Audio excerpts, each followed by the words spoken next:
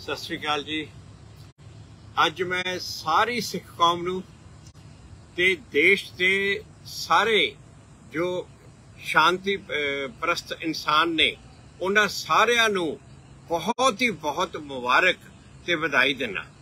CBI ਨੇ ਅੱਜ Jagdish title ਦੇ ਖਿਲਾਫ ਕਤਲ ਦੇ ਕੇਸ ਵਿੱਚ ਚਾਰਜ ਸ਼ੀਟ ਫਾਈਲ ਕਰਤੀ ਹੈ। ਅੱਜ ਹੀ ਉਹ ਚਾਰਜ ਸ਼ੀਟ ਸੀਬੀਆਈ ਨੇ ਫਾਈਲ ਕੀਤੀ ਆ। ਜਗਦੀਸ਼ ਟਾਈਟਲ ਦੇ ਖਿਲਾਫ ਇਹਦੇ ਖਿਲਾਫ ਦੋਸ਼ ਸੀਗੇ ਕਿ ਇਹਨੇ ਤਿੰਨ ਸਿੱਖਾਂ ਦਾ ਕਤਲ ਕੀਤਾ।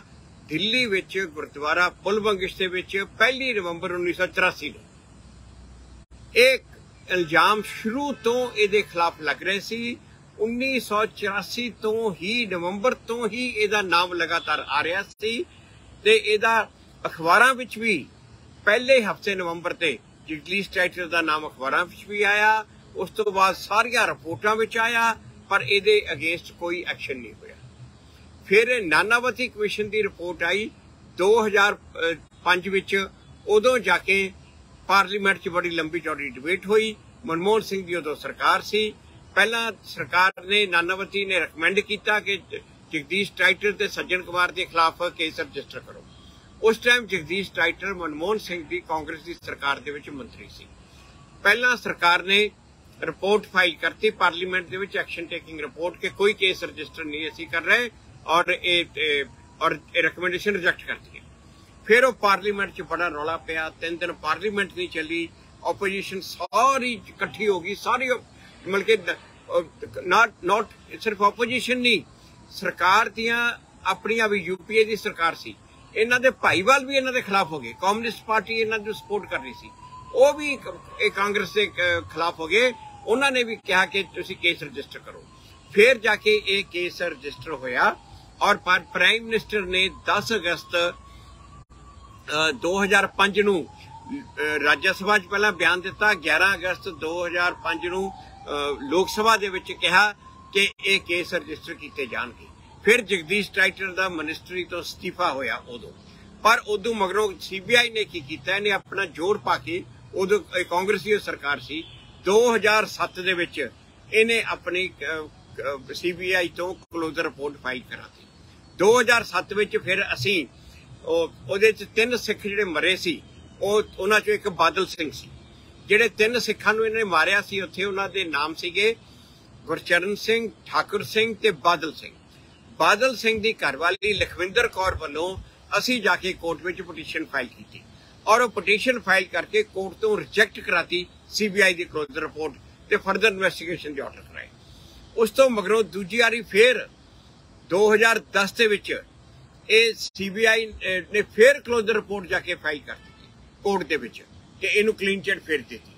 ਉਹ ਕਲੋਜ਼ਰ ਰਿਪੋਰਟ ਬੜੀ ਬਹਿਸ ਨਾਲ ਬੜੀ ਜਦੋਜਹਿਦ ਨਾਲ ਜਾ ਕੇ 2013 ਅਪ੍ਰੈਲ ਦੇ ਵਿੱਚ ਅ, ਸੰਨ 2013 ਵਿੱਚ ਅਪ੍ਰੈਲ ਦੇ ਮਹੀਨੇ ਦੇ ਵਿੱਚ ਇਹ ਫਿਰ ਜੱਜਮੈਂਟ ਕੋਰਟ ਤੋਂ ਫੇਰ ਆਈ ਉਹ ਦੂਜੀ ਕਲੋਜ਼ਰ ਰਿਪੋਰਟ ਵੀ ਰਿਜੈਕਟ ਇਹਦੀ ਇਹਦੀ ਕਰਵਾਈ।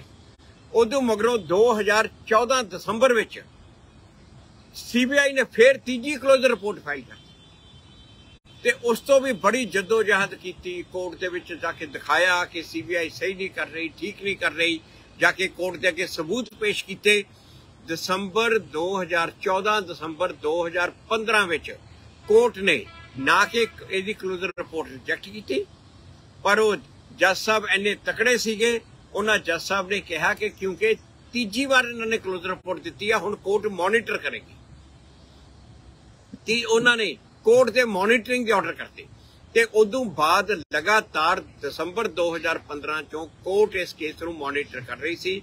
ਸੀਬੀਆਈ ਇੱਕ ਬਹਾਨਾ ਜਾਂ ਦੂਜਾ ਬਹਾਨਾ ਲਾ ਕੇ ਇਹਨੂੰ ਡਿਲੇ ਕਰਦੀ ਆ ਰਹੀ ਸੀ।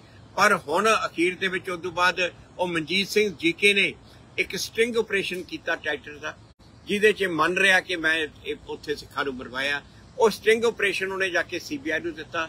ਸੀਬੀਆਈ ਨੇ ਫਿਰ ਪਿੱਛੇ ਜੇ ਟਾਈਟਲ ਦਾ ਵੌਇਸ ਸੈਂਪਲ ਵੀ ਲਿਆ।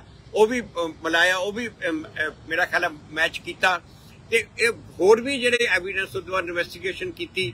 ਤੇ ਸਾਰੀ ਇਨਵੈਸਟੀਗੇਸ਼ਨ ਕਰਕੇ ਸੀਬੀਆਈ ਨੇ ਅੱਜ ਇੱਕ ਕਲੋਜ਼ ਚਾਰ ਸ਼ੀਟ ਜਗਦੀਸ਼ ਟਾਈਟਲ ਦੇ ਖਿਲਾਫ ਮਰਡਰ ਕੇਸ 302 ਦੀ ਚਾਰ ਸ਼ੀਟ, ਤਿੰਨ ਸਿੱਖਾਂ ਦਾ ਕਤਲ, ਜਿਹੜਾ ਕਿ ਦਿੱਲੀ ਦੇ ਪੁੱਲ ਬੰਗੇਸ਼ ਗੁਰਦੁਆਰਾ ਹਿੰਦੂ ਰਾਓ ਪੁਲਿਸ ਸਟੇਸ਼ਨ ਦੇ ਵਿੱਚ ਹੋਇਆ। ਉਹ ਸਾਰਿਆਂ ਨੂੰ ਇਸ ਗੱਲ ਦੀ ਬਹੁਤ ਬਹੁਤ ਮੁਬਾਰਕ ਦੇਣਾ ਬਹੁਤ ਮੁਬਾਰਕ ਦੇਣਾ ਕਿ ਅੱਜ ਚਾਹੇ ਇਹ 39 40 ਸਾਲ ਹੋ ਗਏ, ਸਾਨੂੰ ਇਹ ਲੜਾਈ ਲੜਦੇ। ਪਰ ਇਹ ਲੜਾਈ ਨੇ ਅੱਜ ਇਹਦਾ ਫਲ ਨਿਕਲਿਆ ਕਿ ਅੱਜ ਇਹਦੇ ਅਗੇਂਸਟ ਕਤਲ ਦਾ ਮੁਕੱਦਮਾ ਸ਼ੁਰੂ ਹੋ ਗਿਆ। ਦੂਜਾ ਜਿਹੜਾ ਮੁਲਜ਼ਮ ਹੈ ਸੱਜਣ ਕੁਮਾਰ, ਉਹਨੂੰ ਉਮਰ ਕੈਦ ਦੀ ਸਜ਼ਾ ਕੋਰਟ ਨੇ ਦਿੱਤੀ ਹੋਈ ਆ। 5 ਸਾਲ ਹੋ ਗਏ ਉਹ ਜੇਲ੍ਹ ਵਿੱਚ ਆ। 5 ਸਾਲ ਹੋ ਗਏ। ਉਹਦੇ ਨਾਲ ਇੱਕ ਹੋਰ ਮੁਲਜ਼ਮ, ਜਿਹੜਾ ਐਕਸ ਕਾਉਂਸਲਰ ਬਲਵੰਤ ਖੋਖੜ, ਉਹਨੂੰ ਅੱਜ 10 ਸਾਲ ਹੋ ਗਏ, ਉਸ ਨੂੰ ਜੇਲ੍ਹ ਵਿੱਚ ਆ। ਉਹ ਵੀ ਸੱਜਣ ਕੁਮਾਰ ਦੇ ਨਾਲ ਹੀ ਸੀਗਾ। ਇੱਕ ਨਾਲ ਐਕਸ ਐਮਐਲਏ ਉਹ ਮਹਿੰਦਰ ਯਾਦਵ, ਉਹ ਵੀ ਜੇਲ੍ਹ ਵਿੱਚ ਸੀ। 4 ਸਾਲ ਤੋਂ ਬਾਅਦ ਪਿਛਲੇ ਸਾਲ ਹੁਣੇ ਪਿੱਛੇ ਜੇ, ਉਹਦੀ ਜੇਲ੍ਹ ਵਿੱਚ ਹੀ ਉਹਦੀ ਡੈਥ ਹੋਈ ਹੈ ਸੱਜਣ ਕੁਮਾਰ ਨੇ ਬੜੀ ਕੋਸ਼ਿਸ਼ ਕੀਤੀ ਸੁਪਰੀਮ ਕੋਰਟ ਤੋਂ ਆਪਣੀ ਬੇਲ ਕਰਾਉਣ ਦੀ। ਪਰ ਸੁਪਰੀਮ ਕੋਰਟ ਨੇ ਉਹਦੀ ਬੇਲ ਰਿਜੈਕਟ ਕਰ ਦਿੱਤੀ ਹੈ ਔਰ ਉਹਨੂੰ ਤਕਰੀਬਨ ਹੁਣ 5 ਸਾਲ ਹੋ ਗਏ ਉਹ ਜੇਲ੍ਹ ਵਿੱਚ ਆ। ਹੁਣ ਜਗਦੀਸ਼ ਟਰੈਕਟਰ ਦਾ ਵੀ ਕੇਸ ਐਕਸਪੀਡਾਈਟ ਕਰਵਾ ਕੇ ਇਹਨੂੰ ਵੀ ਜਲਦੀ ਤੋਂ ਜਲਦੀ ਹੁਣ ਜੇਲ੍ਹ ਪਹੁੰਚਾਵਾਂਗੇ। ਇਹੋ ਬਸ ਪੂਰਾ ਸਾਰਿਆਂ ਨੂੰ ਮੈਂ ਇਹ ਗੱਲ ਦੀ ਮੁਬਾਰਕ ਦਿੰਦਾ ਤੇ ਸਾਰਿਆਂ ਦਾ ਧੰਨਵਾਦ ਜਿਨ੍ਹਾਂ ਜਿਨ੍ਹਾਂ ਨੇ ਇਹਦੇ ਵਿੱਚ ਸਾਥ ਦਿੱਤਾ ਤੇ ਸਾਰਿਆਂ ਨੂੰ ਬਹੁਤ ਬਹੁਤ ਮੁਬਾਰਕਬਾਦ। ਵਾਹਿਗੁਰੂ ਜੀ ਕਾ ਖਾਲਸਾ, ਵਾਹਿਗੁਰੂ ਜੀ ਕੀ ਫਤਿਹ।